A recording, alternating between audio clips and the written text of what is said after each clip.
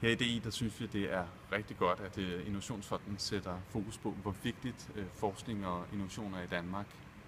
Øh, både i forhold til at skabe vækst og beskæftigelse, men også at løse meget komplekse problemstillinger i Danmark, som i resten af verden. Og der kan man sige, at det er meget, meget afgørende, at den offentlige forskning, universiteter og andre offentlige vidensinstitutioner går, går sammen med, med virksomhederne i at løse de her problemer. Det er ofte der, at hvad kan man sige, idéer bliver, kan, for alvor kan blive sat i spil, mm. øh, og at vi kan eksportere øh, løsningerne øh, til mange andre lande.